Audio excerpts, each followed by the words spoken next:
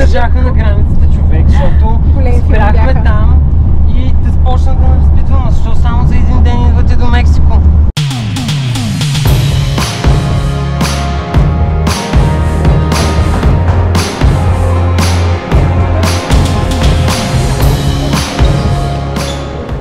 Окей, пристигнахме в Канкун. Най-накрая, след 17 часов полет. Искам да ви кажа, че в момента сме много добре. Ще чакаме сигурно 15 минути. Бяхме подготвени за едночасово чакане, но слязохме бързо от самолета. Часът е 12.10, а, 12.20 местно време. А, за слизането давам ви апдейт, просто да видите какво е да се пътува в момента по време на COVID. А, в Мексико ви дават ето такъв а, документ, който трябва да попълните докато сте в самолета. Този документ трябва да го пазите до края на престоя си в Мексико, защото в противен случай, ако го загубите, има глоба, която не съм сигурна точно колко беше, да не ви лъжа, но към 100 долара или 50 долара. А, сега ние имаме оговорка с една позната, която е приятелка на Галя, наша много близка приятелка, която ще ни посрещне. Това беше чист късмет. Но слушайте историята, докато чакаме само да ви разведриме малко. Ние сме пак в екшена, защото какво се случи? Букнахме си хотел. Хотелът изглеждаше супер прилично на снимките. Мисля, че 25 долара нощувката. Обаче, казваме на момичето къде сме се настанили и тя, о, не, абсурд, вие сте в най-опасната част, как може? И ние не знаем как сме се набутали в този филм.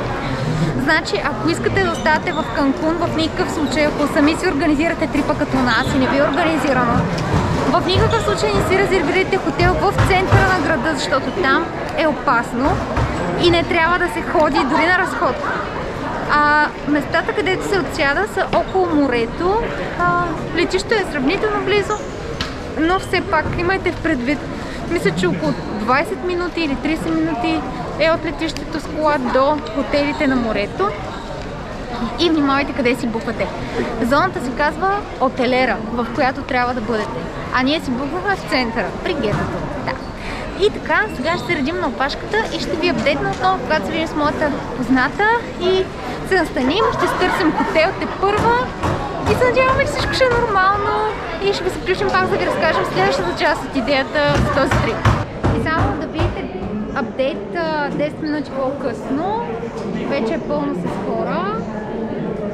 Така че да, ако бързате, трябва да сте бързи. Вторият от начало. Много, Какво много, се случи? много задържаха на границата човек, защото спряхме там и те започнах да ме разпитвам, защо само за един ден идвате до Мексико? Така, това ще бъде Защото- старта на видеото, направи ми видео, давай. И тя, тя на иммиграциите направо беше иска, извика друга, питаха искаха да си варя втори паспорт, гледаха на паспорта, викат няма нищо, аз не имам втори. Показах си, проверяха ни визите дали са а, фалшиви за, за САЩ. САЩ. Да. Искаха билета 100 пъти. Беше супер Да, голям филм. Пътуваме Да, за най-безопасната част на 15 Канкун с приятели, които имахме късмета да ни срещне съдбата и ни взеха от летището преди малко. Бяха се разбрали предварително, тук е малко по-шумно, така. Бяхме се разбрали предварително, но те не разбраха а, по-рано за нашия лош избор на хотел, а едва с нощи, когато вече бяха последните минути от престоя на летището в Истанбул, успях да напиша три реда и трябваше да се опитам да анулирам резервацията. Обаче разбрах още дали съм успяла, но се надявам, че вече съм успяла. Най-вероятно да. И сега в момента с Живко пътуваме в колата. Нашите приятели ни взеха и показвам пъти в Мексико. Колко е як. В смисъл наистина, моля, погледнете. Няма никакъв трафик чак за умиране толкова. Зелено е. А, интересно е. Главния път има дупки като в България, Да. тук само че е широко. И ни хвана Moody Weather. За хората, които се дразнят, че говоря с чуждици, а, малко по-облачно време с променлива облачност. така. Ще ви се включим отново, когато се чекираме и разберем дали можем изобщо да го направим в този хотел, в който решихме да отседнем последно. До скоро!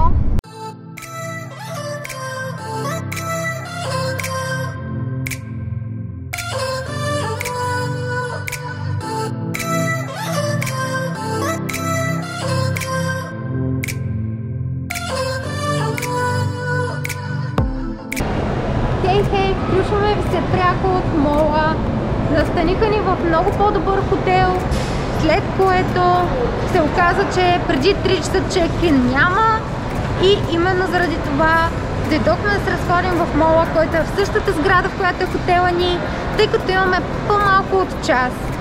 И тук има абсолютно всичко. Дори H&M и в момента съм се запътила точно на там. Запътили сме се.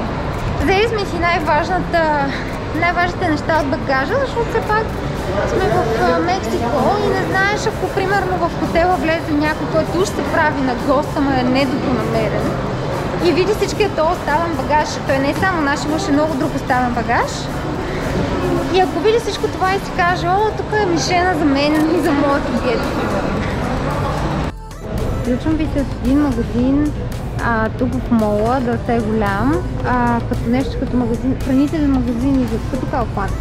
И тук имат а, това брашно и не само на фирмата Bob's Red Mill, която предлага най-различни здравословни альтернативи на брашна, здравословни безглютенови само. А, и също така имат дори лежниково брашно и палио бейкинг флауър, което е страхотно сладко на палио. Имат чипси, което е а, напътеното, рисово, спелка, Карина Декоко, това брашно от кокос.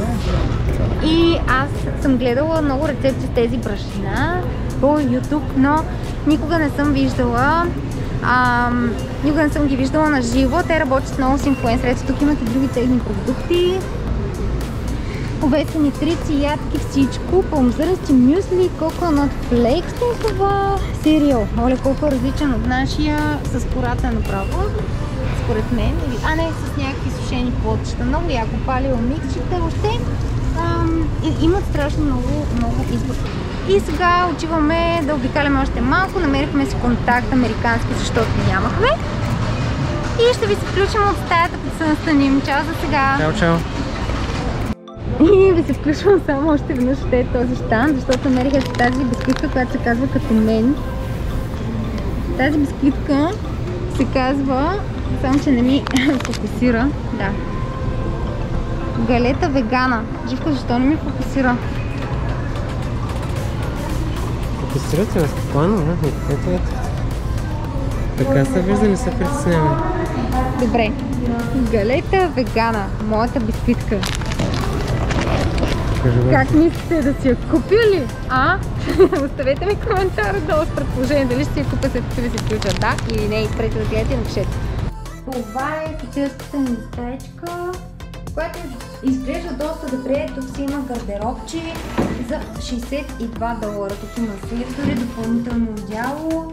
За 62 долара това е стаята, която получавате в Канкун. Според мен цената и това, което получавате са доста добри. Има климатик, телевизор, чил зона, голямо легло, огромно бих казала. И най-якото гледка към плажа и морето се вижда. Юху! Доста добър хотел, препоръчваме го. Долу има и басейн, има молове в хотела, има ам, ресторанти, всичко има. Така че ние сега ще си починеме малко, ще си вземем по един душ, след това отиваме ей там в парка да се разходим. Ей там. До после само време да ви покажа банята, която е това.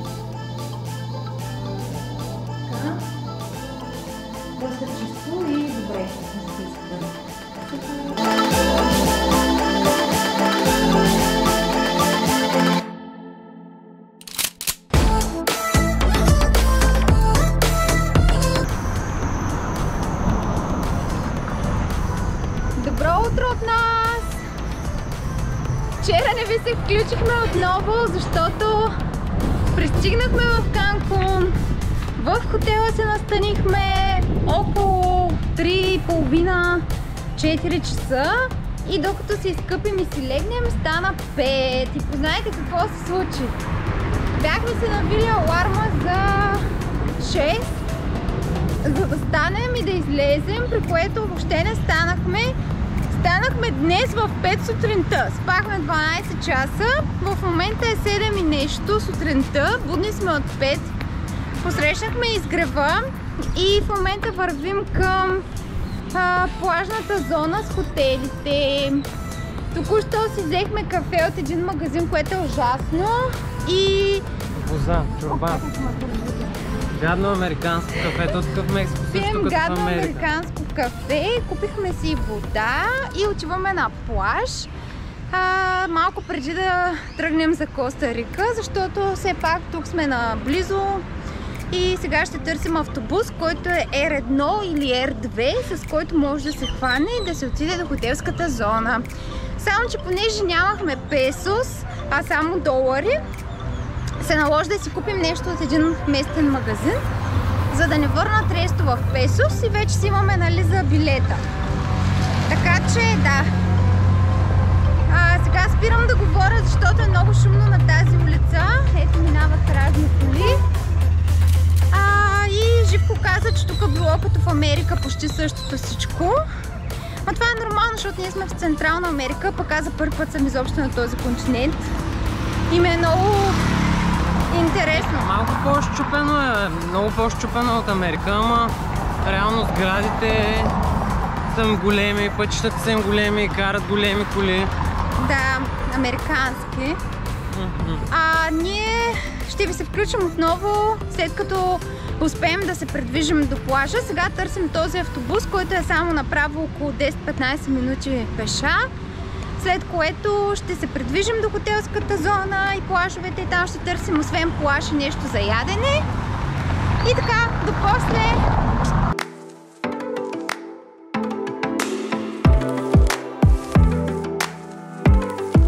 Току-що слязохме от автобуса, който си хванахме до тази зона и се намираме в зона Отелера, в която най-вероятно ако дойдете с организирана почивка ще бъдете настанени и тук са всичките хотели. А, тя е много голяма зона, ние сме в началото и в момента вървим към някакъв плаж. А, тук е Аламо, това е агенция за найем на коли, мисля, че дори може и яхта да си наемете от тук. За всички, които искат да си отворят бизнес, сега е момента на Слънчев бряг да си купите едно такова бушченце и да си пуснете PCR машинки и антигенчета. Гледай, само да кажа 30 нещо. долара, 100 долара. Може ли да кажа нещо? Това е важно. Значи, когато се прибирате в България, в момента правилата са, че наистина трябва да си направите или PCR тест, или антигенен. Като мисля, че в момента може и антигенен, тук излиза по-ефтино антигенен. 30 долара е антигенен, 16 часа, 100 долара е PCR. Като антигенния отнема а, 30 минути. Така че трябва да проверите.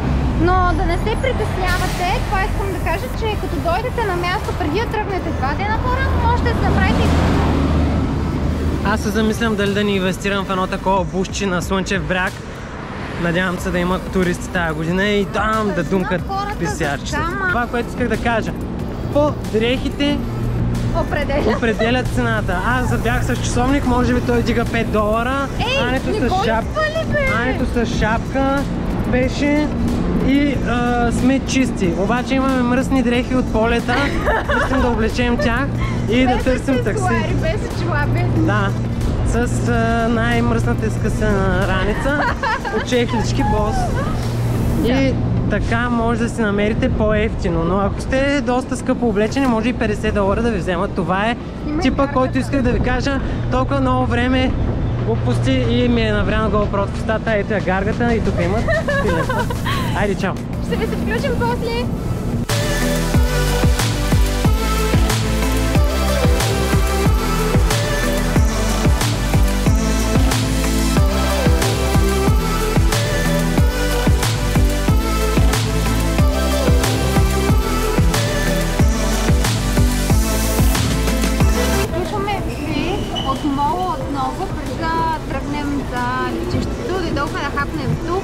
Сме в един огромен магазин, в който всичко е много по-ефтино, отколкото в ресторантите, включително и храната. Даваме ви тип, типс, защото по принцип знаем, че вие а, сте хора, в смисъл може би сред вас има хора като нас, които пътуват за по-дълго, търсят по-бюджетен начин на пътуване и за това ви показваме. Ето това е гуакамоле, изключително вкусно е. Взехме си папая, която е нарязана и готова И си взехме зеленчуци и ориса зеленчуци, защото това е сигурно, че е веган.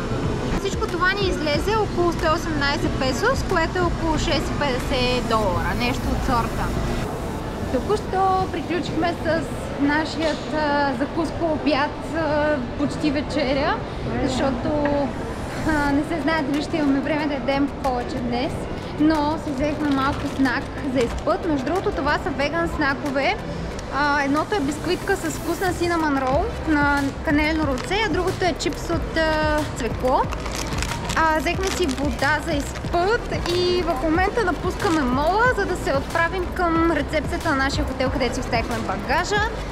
След което ще си викнем такси, което ще струва 17 долара след дълги преговори, които водихме на улицата преди обяда.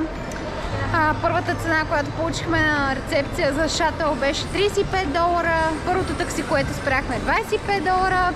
И трето, третия опит вече стигнахме до 17, така че има как, нали, можете да преговаряте. А, знаете правилото, моето правило, което аз съм си измислила и то не е само за, за екватора, но около екватора, колкото близо колкото по-близо до екватора, можете да преговаряте най- най-спокойно за сваляне на цената. И така сега ние ще ви кажем чао и ще ви се включим от следващата ни дестинация, защото сега отиваме на летището да се качим на самолета за следващата ни дестинация. Мексико беше само един ден до сега, но по-късно ще се върнем за повече, така че останете на линия за Мексико сериите ни. И ако това видео ви е харесало, не забравяйте да ни подкрепите, като се запишете за канала ми. И ще се видим в следващия клип!